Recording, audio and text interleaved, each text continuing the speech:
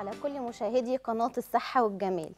أهلا بيكم في أولى حلقات برنامج شباب مصر. خلينا نبدأ بداية مشرقة ونتكلم عن النجاح. ومن المعروف أن النجاح والطموح هم وجهان لعملة واحدة. فمن فمن يحصل على النجاح من طموحه فهو الفائز دائما. ومن يمضي عليه الدهر وهو بلا طموح ولا نجاح فهو يموت بلا ذكرى. علشان كده خلينا نتكلم عن شخصيات ونماذج ناجحة وحققت نجاحات كتير. لكن أبدأ قبل ما أبدأ برنامجي آه، خليني أرحب ب- بزميلي اللي هيشاركني الحوار آه، أستاذ أحمد إزاي أهلا بيك يا ريهام. إن شاء الله تبقى حلقة موفقة بإذن الله. النهارده إحنا بنسعد بيكم في حلقة جديدة ونموذج مشرف من الشباب الشباب الواعي المثقف المستنير اللي دايما بنحاول إن إحنا نحاورهم ونطلع بيهم باستفاده نطلع بيها بموضوع مهم نقدر اننا نستفيد منه من الحلقة دي. آه، خلينا نرحب بضيف حلقتنا النهارده هو يعني آه، رجل أعمال وله باع آه، طويل في السفر في الخارج وقرر إنه يجي مصر علشان آه، آه، يبنيها آه، ويكمل آه، مشروعاته هنا آه، خلينا نرحب بالمهندس ياسر الظواهري ابن من أبناء مركز كفر صقر محافظة الشرقية أهلا بيك يا باشمهندس. نورتنا. وأنا سعيد بيك النهارده. وأنا من زمان بحاول إن إحنا يعني ن... ن... آه، تظهر معانا أكتر من مرة لكن يعني الظروف مش كانت سامحة فأنا برحب بيك ونورتنا؟ نورتنا يا باشمهندس أهلاً وسهلاً. مبسوط طيب. مبسوطين جدا طبعا إن أنت معانا ونولنا شرف تواجدك معانا النهارده. إن شاء الله تبقى حلقة حلوة نستفيد منها والمشاهد كمان يقدر آه، يستفيد من خلال الحلقة الجميلة دي. إن شاء الله. آه، أنا عايز أول في البداية عشان برضو آه، ما نتوهش المشاهد معانا. آه، من هو المهندس ياسر الظواهري كلمني عن بداياتك. بدأت إزاي؟ قررت تبني حياتك ومستقبلك إزاي؟ شوف أنا بدايتي أنا أولاً اسمي ياسر أحمد الظواهري تمام. من قرية الصورة آه، مركز كفر صقر محافظة مم. آه، بديت حياتي زي أي بداية آه، أي حد أي شاب. بطموحه في ناس شباب طموحها السفر في ناس آه، طموحها وظيفة في ناس طموحها آه، إن- دايماً، آه آه. يعني أنت عارف أنا جت موضوع السفر آه، يعني بعد يعني آه، بداية حياتي العملية كانت في سفر بره تمام. فبدأت بعد ما خلصت دراستك بعد ما خلصت آه، دراسه وجيش بره. وكله آه. آه. جت الفكرة بين صديق ليا في السعودية فاقترح عليا إن أنا أسافر. فأنا قلت إيه فرصة إن أنا إيه أروح واخد تجربة اللي اللي, اللي طموح كل شاب اللي هي. أنا كل واحد عايز أشوف إيه موضوع إن. آه، كل شاب في بيتخرج آه، من جامعة أو من دراسته آه. فكرته إن هو عايز يسافر يعني هو ما عندوش قلت ما أشوف اخد التجربة دي. فبالتالي بدأ معايا حتى يعني صديقي أصلا الأستاذ منصور علي هو بدأ معايا رحلة السفر آه، من البداية. من البداية آه. آه. لأن هو اللي جاب لي التأشيرة وسافرت وعمل لي جهاز لي ورقي من هنا من مصر ولا من؟ سافرت من هنا. تمام. آه هو صديقي من من بلد جنبنا. وبدأت حياتي آه، بالفعل في العملية في السعودية. طيب كلمنا بقى عن رحلة السفر الطويلة والغربة.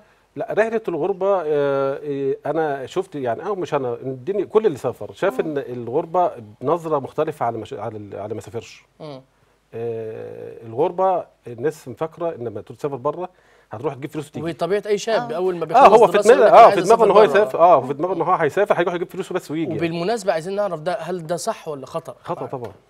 خطأ يعني هناك إحنا بنشوف يعني آه تعب ده بالنسبة للي عايز ينجح آه والنجاح في أي مكان يعني مم. إذا كان في مصر ولا إذا كان في آه، في أي دولة بره لا لازم تتعب مم. وإذا ما تعبتش مش هتنجح آه، حضرتك قلت لي سؤال قبل الحلقة وكانت لما سألتك السؤال ده كانت الإجابة بتاعتك اتفضل. مختصرة خالص قلت لي آه، آه، أنا لما قلت لك اللي عايز يشتغل وكده لازم يسافر بره بعد ما يخلص دراسة فأنت قلت لي لو الشباب عملوا ربع اللي اللي بيعملوه بره. هنا آه معاك أنا مظبوط آه. إحنا إحنا مشكلتنا آه إن إحنا ما بنسافر بره بنتعب يعني الشاب ده يتعب بنسبة مش 200% 200% مم.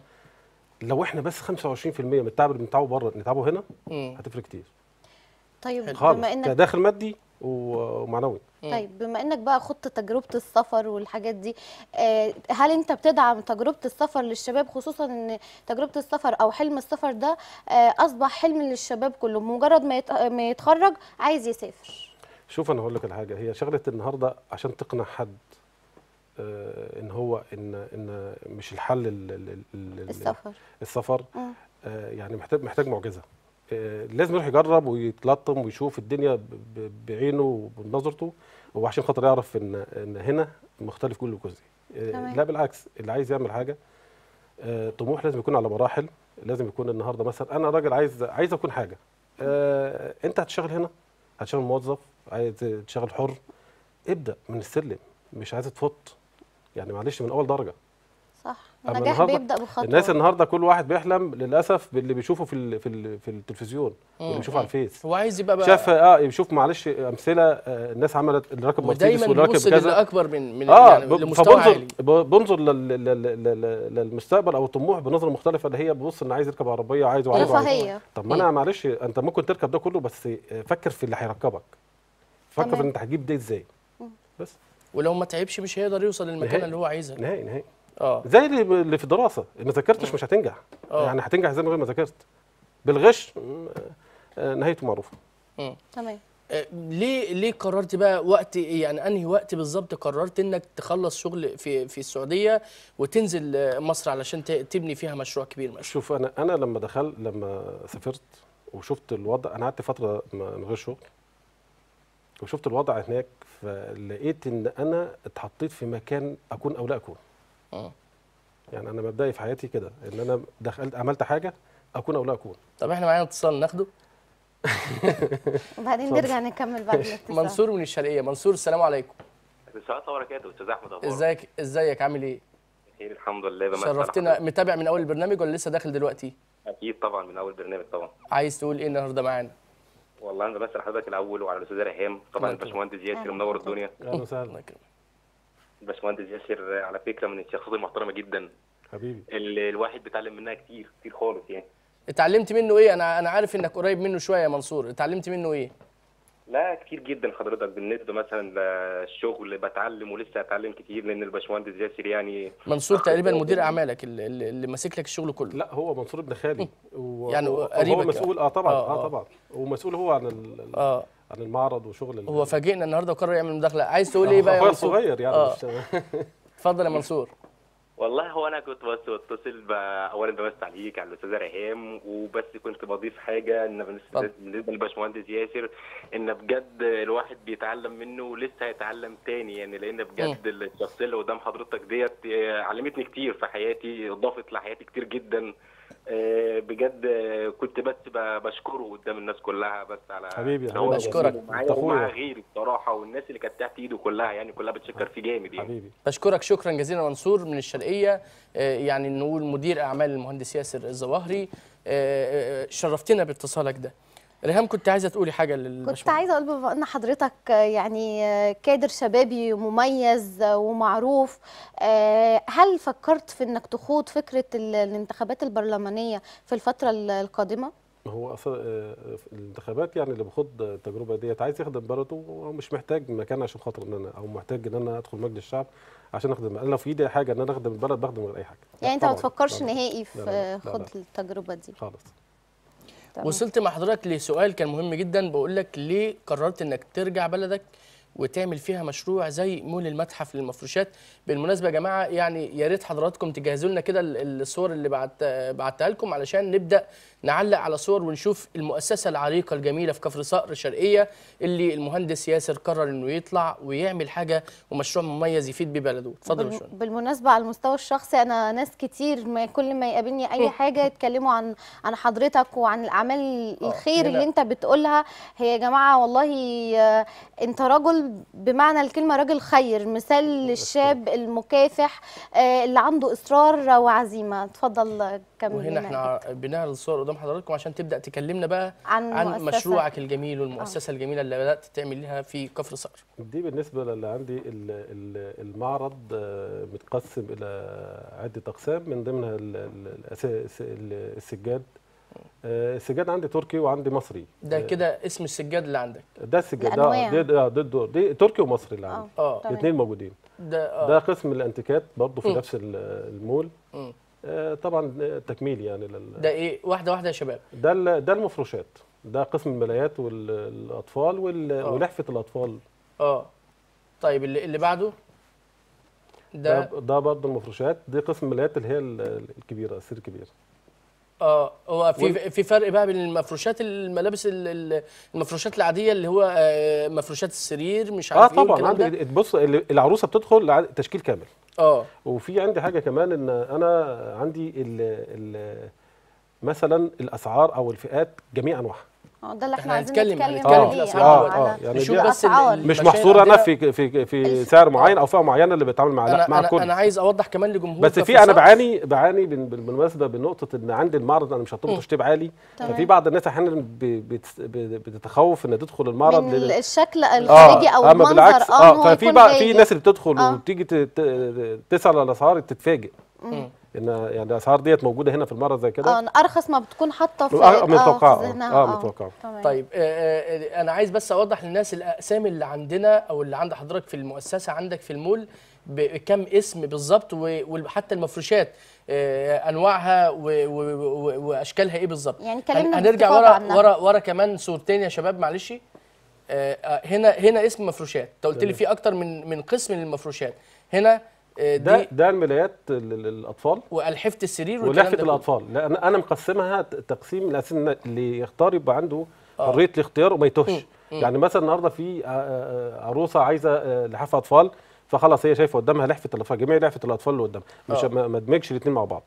عشان ما تتوهش بين ده وبين ده وتسأل بقى ده ده بدي ده ده ده مم. فموضح ال كل هيبقى قسم في سهولة في كل آه، قسم في لوحده سهولة آه آه اللي بعده يا شباب ده ده السجاد ده سجاده آه. السجاد عندك أنواعه إيه دي تركي وعندي مصري وعندي اللي هو المجسم بيبقى في فرق بين التركي والمصري وال- والكلام ده كله يعني فرق. هل ليه عميل معين بيجي يقول لك أنا عايز سجاد تركي أنا عايز سجاد مصري لا هو والفرق مش فيه لا لا إيه؟ لا هو ما فيش موضوع ال- ال- الحيادية بإن. أنا مثلا عايز مصري أو تركي هو بيجي النهارده اللي بيجي يفرش الخامة لا لا بتيجي بتفرش بتشوف الأذواق وال- وال- والرسومات والألوان المناسبة للفرش بتاعها فهي بقى زي ما بتطلع ممكن يطلع مصري ممكن يطلع طب تركي. هل السجاد مثلا والحاجات دي بيكون في ليها توكيل؟ يعني انت بتاخد توكيل مثلا أنا باخد آه أنا بجيب آه. من الموزع نفسه المستورد أو ال- الوكيل. تمام. يعني وده على أساس إن أنا أسهل برضه عملية الايه البيع وال- لا والشراء. السعر. يعني السعر. آه طبعا. لأن أنا لما باخد من من المصدر نفسه غير إن أنا باخد من آه، من أكتر من مصدر يعني. طيب نبدأ نقول كده واحدة واحدة معايا. حتى يا شباب آه، أرقام التليفونات معانا على الشاشة إيه؟ يبقى مول المتحف للمفروشات للسجاد السجاد والمفروشات والانتيكات وعندي واخد يعني برضه توزيع المراتب يانسن وانجلندر يانسن؟ يانسن وانجلندر دي, دي آه، شركات معتمدة ال- كبيرة. آه لا طبعا معروفة. دول موجودين حاليا عندي. ولا لسه لا لا موجودين. تمام. آه، حاليا موجودة و- بس يانسن الأصلية لأن في حاليا دلوقتي في السوق مضروب. مم. تمام. لا أنا عندي ال- الأصلي و- و- وبضمان 10 سنين و... والوكيل موجود المصنع موجود يعني كمان ممكن نروحوا له. واحد يقول لك إيه اللي يميز مول المتحف عن أي معرض تاني آه، أشتري منه؟ التمييز عندنا إن إحنا بن... اللي بيدخل بيلاقي جميع مم. الألوان أو التشكيلة أو الرسومات أو كل اللي ممكن تخيل- تخيله موجود مم. أنا ما بسعى بسعى النهارده آه، لو حد مثلا دخل عندي آه، اداني أي ملاحظة بشتغل عليها يعني مثلا تمام. حد قال لي ما في كذا كذا كذا بس مش موجوده عندك لا ما باخدهاش أو بعديها لا ده أنا باخدها وبسجلها عندي وبشتغل عليها وأشوف إيه دايما الجديد وأجيبه طب في إمكانية مثلا الحجز عند حضرتك إن أنا مثلا آجي عايزة حاجات معينة وأحجزها عند حضرتك لو هي مش متوفرة أحجزها وإن أنت فيما بعد تجيبها وكده؟ طبعا وبديها موعد بيها. مش ما بسهاش مسموح. ده موعد إن آه، خلال ثلاث أيام أو يومين. تكون موجودة طب الحاجة جاهزة. ال- ال- هو وديها لحد البيت. طيب الحجز مع حضرتك بيكون طيب في مقابل مبلغ مالي ولا هي بتحجز إن هي لا عايزة الحاجة؟ لا لا على حسب الشخص اللي قدامي. وبرضه في ناس بيبقوا جديين وفي ناس أحيانا بيبقوا مش جديين يعني. آه، سؤال وخلاص. آه ممكن يسأل وخلاص ويقول لك طب هاتها له وخدها لا في يعني في جدية بس في الموضوع. تمام. في آه، شخصية آه، عزيزة على الأستاذ ريهام عايزة تعمل معاها مداخلة. اتفضل. دكتورتنا الجميلة الدكتورة هناء الأحمدي. قولي انت بقى استقبليها انت. طبعا أنا شهادتي فيكي مجروحة. لا لا مجروحة إزاي؟ منورانا على دكتوره الهواء هناء الأحمدي السلام عليكم آه عليكم السلام ورحمة الله وبركاته آه خليني بقى أديني فرصة إن أنا أعرف الناس مين آه. ال- الأستاذة خبيرة آه ال- والدكتورة هناء الأحمدي هي خبيرة التنمية البشرية ومن الأسري. آه والإرشاد الأسري ومن الشخصيات ال- ال- المحترمة النموذج المشرف فعلا إن شاء الله الأيام القادمة هيكون معانا آه، آه، حاجات كتير هنتكلم عنها وهي كمان هتكون معانا موجودة أهلا. بيك يا دكتور أهلا بحضرتك يا أستاذ أحمد. مش هنبارك بقى جداً الأستاذة ريهام. عن البرنامج ولا هنسيبها كده؟ إيه؟ مش هتباركي للاستاذه ريهام على البرنامج أنا ولا؟ لسه هو والله عايزة أخد فرصتي يا دي أستاذ فرصتها. اتفضل اتفضلي ألف مبروك وأنا سعيدة إن أنا شايفاكوا قدامي على الشاشة أنت والأستاذة ريهام وما شاء الله الباشمهندس آه، ياسر منورين. الدنيا ومنورين الشاشة ربنا يحفظكم يا رب. آه، أنا بهني الأول- الأول الأستاذ ياسر على مول المتحف. ربنا. لأنه آه، بجد فيه كل حاجة. أنا سامعة حضرتك بتقول إيه بيميز مول المتحف عن غيره؟ بكل أمانة اشتريتي منه قبل كده ولا لأ؟ آه طبعا طبعا. زرتيه؟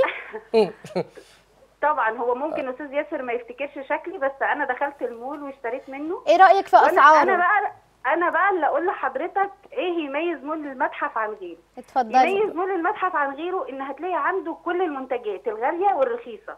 النقوشات كلها. الشغل الجميل. الاستقبال الرائع ففي حاجات جميلة جدا في مول المتحف ويعني أتمنى إن الكل يروح ويزور المول وهيلاقي كل اللي هم عايزينه يعني أستاذ ياسر ما بيضحكش علينا وكل الأسعار لا، لا. موجودة فعلا لا فعلا هتلاقي عنده الحاجة الرخيصة والحاجة الغالية كل حاجة متاحة والعروسة اللي تدخل عند الأستاذ ياسر هتشيل كل اللي هي عايزاه من عنده مش هتشتري حاجة من بره بالنسبة للخامة يا دكتوره ما أنا قلت لك في الغالي وفي الرخيص فالخامة النظيفة الحلوة موجودة والخامة اللي هي يعني نص نص برضه موجوده هو طيب. ما عندوش حاجة وحشة عشان نكون واضحين.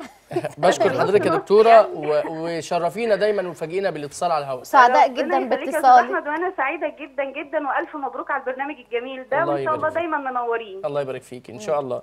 بشكر الدكتورة هناء الأحمدي خبيرة آه، التنمية البشرية والإرشاد الأسري إحنا دلوقتي معانا يعني أقل من 10 دقائق هنطلع فاصل نذيع فيه الإعلان بتاع مول المتحف ونشوف برضه نفرجكم أكتر على مؤسسة مول المتحف ونرجع مع بعض تاني. انتظرونا.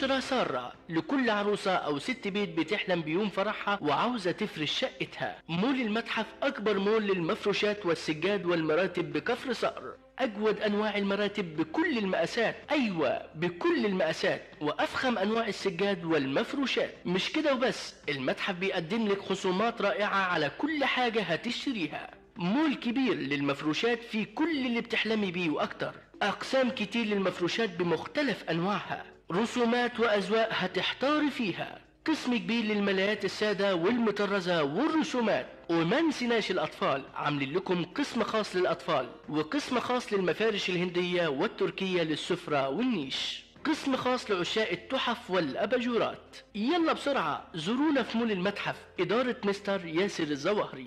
زورونا ونورونا ومفروشات شقتك كلها علينا.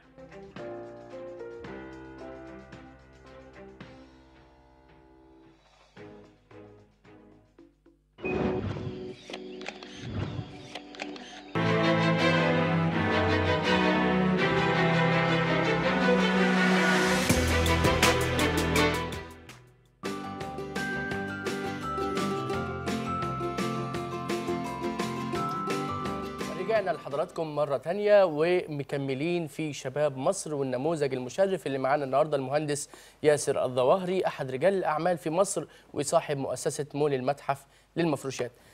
أكيد اتفضل. طبعا آه، إحنا سعداء طبعا بتواجد حضرتك معانا آه، استكمالا للحديث آه، حابين نعرف أكيد في في رحلة الغربة قابلت شخصيات معينة أو طلعت بيهم طوال سنين الغربة دي كلمنا عن الشخصيات اللي حضرتك طلعت بيها ما هو ال- ال- الغربة آه، من ضمن الحاجات اللي بتظهر معادن الناس يعني فعلا. أنت تبقى عايز تعرف الشخص يعني بالنسبة إحنا شباب أو ناس تعرفي الشخص في بره. صح. آه، ما تعرفوش بيبان- آه بيبان، بيبان. آه. آه. بيبان أصله ومعدنه. وكل حاجة. أنا من ضمن اللي قلت لك واقف جنبي صاحبي وصديقي منصور في موضوع السفر وبرضه واقف جنبي معايا برضه ال- الأستاذ عماد العدوي آه، آه، اعتبر ابن خالتي وأخو المدام. ده كان بره. آه كان بره هو اللي هو اللي دخلني الشغل هو اللي دخلني الشركة اللي اشتغلت فيها. تمام. وبديت حياتي العملية طيب هم لهم فضل عليا. وبدأت حياتي العملية زي زي أي واحد بس كان يعني أنا من الناس اللي كنت بحب بحب شغلي. تمام. يعني أنا بحب شغلي إن أنا آه، بديله كل فكري ومجهودي وذهني. آه، فكان طبعا بي آه، آه، كان لازم أتعب عشان خاطر إن أنا أوصل لهدف معين قدرت تثبت نفسك آه الحمد وتشتغل. لله آه اوصل يعني أنا في شغلي حتى لما دخلت الشركة. اللي اشتغلت فيها بره أنا تقريبا كنت شبه إن أنا ما أعرفش أي حاجة في أي حاجة. تمام. بس حطيت في راسي أو حطيت في دماغي إن أنا أكون أو لا أكون. لازم يكون حاجة في الشركة دي. كان في هدف وعندك آه طبعاً. إصرار وعزيمة على بس ده. عشان خاطر وصلت له وصلت له ما وصلتش بصعوبة. طبعا أنا كنت شغال في شركة آه، sales. وال- وال sales أرقام. يعني أرقام بس يعني مش مجهود هي أرقام. بس محتاجة تركيز. محتاجة تركيز ومحتاجة تعب عشان خاطر تقدر تجيب الأرقام ديت. فالحمد لله من أقل حاجة كنت أنا تقريبا وصلت لأعتبر من من أعمدة الشركة لما جيت أمشي.